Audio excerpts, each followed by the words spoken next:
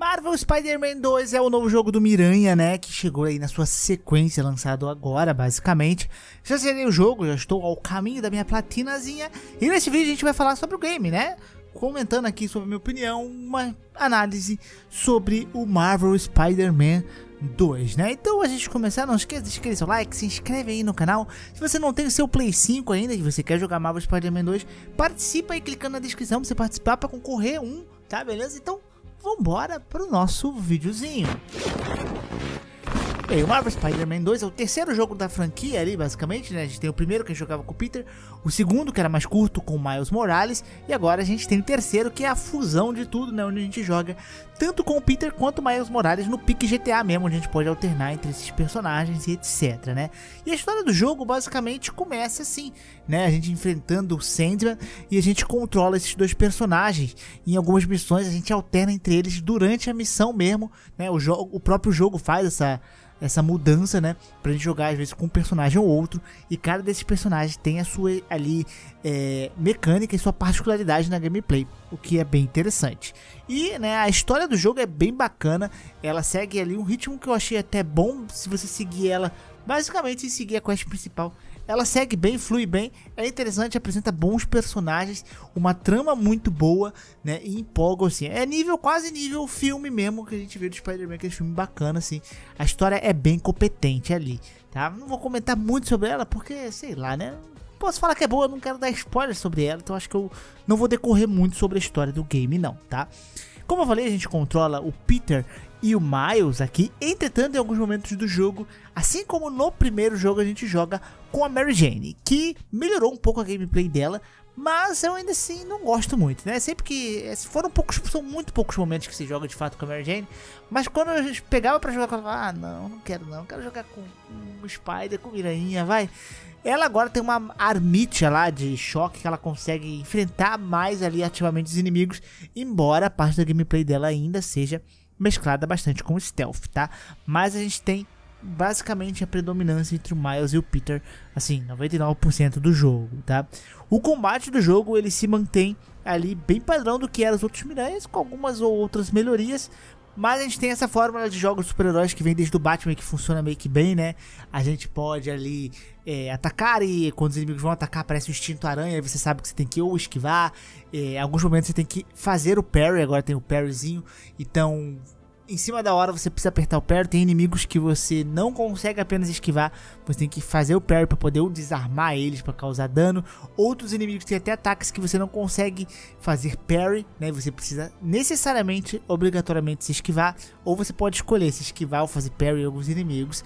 E é uma mecânica bem legal, funciona e o parry é bem importante no jogo, tá? Ajuda bastante ali. A gente pode fazer ali, tacar as teiazinhas para prender o inimigo. Aí tem várias habilidades né, que a gente desbloqueia conforme a gente joga. Então a gente pode pegar, lançar, jogar o inimigo, jogar objeto inimigo, enfim, a gameplay básica do Spider-Man aí, muito divertida, flui muito bem, ela é bem ali dinâmica, tá bem gostosinho de jogar. E em contrapartida, a gente também tem o stealth do jogo que eu acho bem pomposo de se fazer, que a gente pode, né, utilizar as mecânicas de teia, ou pegar pontos específicos do jogo e ficar atento quando você pode ou não abater o inimigo furtivamente utilizando a sua teiazinha.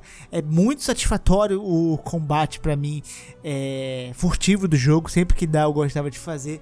É bem gostosinho. Depois né, que você desbloqueia a teiazinha, que você consegue colocar a teia de um ponto ao outro ali e ir andando, você faz abates melhores ainda de uma forma bem mais otimizada no game.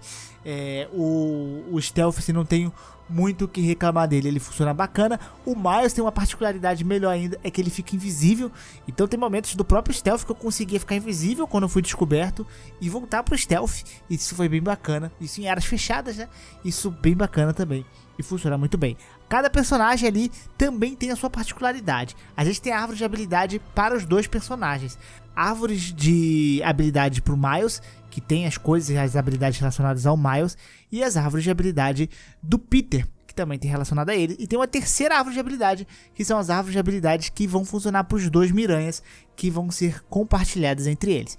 O Peter e o Miles têm suas diferenças, cada um tem suas habilidades. O Miles, por exemplo, tem mais habilidades voltadas ao poder dele de choque também, então a gente utiliza bastante delas. E o Peter tem também as suas particularidades, utilizando ali as garras do, do seu traje ali para fazer o combate. Essas habilidades, elas vão mudando, né? Conforme você vai progredindo no jogo, você vai descobrindo coisas novas. A, a própria história principal vai apresentando novas habilidades para você, que vai modificando um pouquinho da gameplay. E junto com isso a gente tem os gadgets, que são basicamente outros itens que vão dar dano ou vão auxiliar fazer um controle de grupo no combate. Como por exemplo, um que você solta T e junta todos os inimigos. Enfim, a gente tem ali é, isso no combate. O combate ficou muito bom, funciona muito bem, né, e as habilidades dão um charme a mais e você precisa carregar elas ali. E você tem também a barra de foco e a barra de foco serve para você ou utilizar a finalização em alguns inimigos ou curar o personagem. Você aumenta a barra de foco com upgrades upgrades também que faz parte dos trajes, que é um outro tipo de upgrade que a gente tem no jogo, que a gente pode fazer upgrade de vida, de dano e de foco ou navegação, enfim, tá? Fora isso a gente tem também por padrão diversos trajes ali que a gente pode trocar entre os personagens. O mundo aberto do jogo é Nova York, como os anteriores, né? E a navegação funciona basicamente da mesma forma. Você balanga a teia, você pode utilizar ali Homem-Aranha para pegar pontos específicos e pular, dar um salto mais à distância, mas ele tem uma novidade muito boa e muito bem-vinda, que é o fato que agora os Miranhas podem planar. E cara, isso é maravilhoso. É muito bom, né, você planar, você pegar o impulso e ir planando. E agora o jogo tem até tipo é, correntes de ar ali durante o mundo aberto, que você pode entrar ali com o Peter ou com o Miles, você pega mais velocidade planando. É muitas vezes mais legal se locomover planando agora do que utilizando a própria teia. Claro que elas meio que complementam ao outro, né? Porque planar você vai perder altitude, você consequentemente vai ter que pegar altitude com a teia. Mas funciona muito bem, cara. É muito gostosinho essa mecânica aí de planar. E no mundo aberto a gente tem diversas atividades para fazer, desde atividades mais simplesinhas, atividades secundárias ali que requerem um pouco mais de coisas, né? E também aparecem crimes ali que são denunciados pelo aplicativo que foi apresentado, se eu não me engano, foi no Miles Morales, que, né, conforme você está zanzando é aleatório, aparece algum crime que você pode fazer. Você é recompensado com coisas como moedas e outro tipo, uma engrenagemzinha, que serve justamente para você fazer o upgrade, seja ali no seu traje, né, ou nas próprias árvores de habilidades ali do personagem. A gente precisa mencionar também o load desse jogo, que tá bem massa, né? Um load tá basicamente instantâneo aqui. Acho que leva um segundo e meio para fazer o load ali, coisa que você não percebe. Parece que realmente é um load instantâneo que não tem transição de tela, o que é um negócio que eu achei muito bacana. Bem, além disso, a gente tem as side quests, né? Porque a gente tem essas atividades no mapa, mas elas não são necessariamente quests, até meio que são, tá? Porque quando você conclui ela, você geralmente tem uma cutscene, você tem alguns personagens novos sendo apresentados, você ganha umas recompensas bem boas, né? Mas a gente tem as próprias side quests mesmo, que são side quests específicas que você pode fazer ou só com Miles, que são side quests que pertencem ao Miles, ou ao Peter, e tem algumas que pertencem aos dois, você vai fazer com os dois ali. E essas aqui são side quests mesmo, porque elas têm uma história, elas começam com uma cutscene, uma coisa sendo apresentada, uma mini trama mesmo dentro do jogo, elas são boas. As, todas quase ali que eu fiz são legais, tem umas outras que são mais chatas, mas no geral as que eu fiz são bacanas e eu curti bastante essas side quests aí que eu fiz do game, tá? Então a gente tem isso daí no mundo aberto, basicamente pra gente fazer. As side quests, lembrando que elas aparecem, você não pega em pontos no mapa, ela aparece ali no celular para você escolher e poder fazer elas, beleza? E antes também, vamos falar apenas de um, ponto negativo do jogo, que foi em relação aos bugs, cara. Eu tive mais bugzinho que eu imaginava. Assim, nada, nossa, que absurdo, mas sim, se o jogo não tivesse muitos checkpoints, talvez isso seria até um problema. Teve momentos, por exemplo, que depois de eu enfrentar um bom grupo de inimigos, o último inimigo ele sumiu, ele não apareceu de jeito nenhum. Ou seja, a história não progredia porque eu tinha que derrotar aquele último inimigo. Então eu tive que ir lá voltar checkpoint. Teve também um momento de que eu vi vários personagens afundando no chão da escada. Foi até hilário. Aquilo ali nada que comprometesse, mas meio zoeiro mesmo. A gente viu isso daí. É, teve momentos que o meu personagem ficou meio que flutuando. Eu vi muita gente compartilhar bugs do personagem sem o corpo, só a cabeça flutuando. Eu não tive particularmente isso daí, mas eu vi algumas pessoas. Né? E eu tive um momento também que é, o jogo mandava, né? Depois de uma cutscene, mandava eu apertar o L1 mais bola para soltar a habilidade. Eu apertava e não ia. Eu tive que recarregar o save. Mas eu voltei logo instantaneamente nesse ponto e aí funcionou. Então, assim, eu tive uns bugzinhos sim que de certa forma dava uma incomodada ali quando aconteceu. E eu tive dois crashes do jogo durante a minha gameplay, tá? Então esses foram os bugs e os problemas a mais que eu tive. Agora, veredito, bem, eu acho que o Spider-Man, cara, assim, é um jogo que só se eles fizessem muita catinga para dar errado, né? É um jogo que já tem uma fórmula consolidada ali.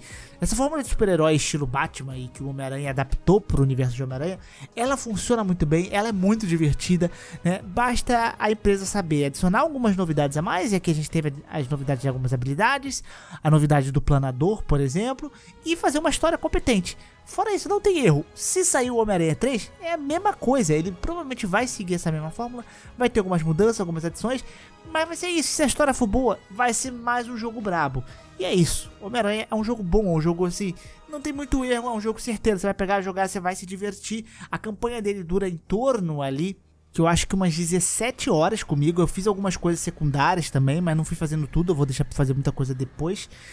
E talvez um pouco menos, porque teve momentos que minha filhinha pegava meu controle para ficar zanzando pela cidade. Então tem algumas horinhas que são delas também, então não consegui controlar. Vai, talvez umas 15 horas ali e pra cima vai ser o tempo de duração da campanha do Spider. Deve chegar umas quase 20 horas ali a platina do game. É um jogo muito bacana, tá super certo, não tem como não recomendar, é legal pra caramba, tá? Muito divertido. Se você não jogou os anteriores, claro que eu recomendo primeiro, né? Então se tiver a chance, pega aí os primeiros, o 1 e o Miles Morales, para você jogar esse aqui, tá? Se você vai ter a experiência bem melhor. Mas é um jogo muito competente vale super a pena, assim, não tem muito o que dizer de Homem-Aranha. É uma franquia que tá meio consolidadinha ali, né? E tem tudo para continuar assim. E é isso, eu espero que vocês tenham gostado desse vídeo. Um grande beijo, um grande abraço, um beijo no popô, até a próxima. E tchau, Liz!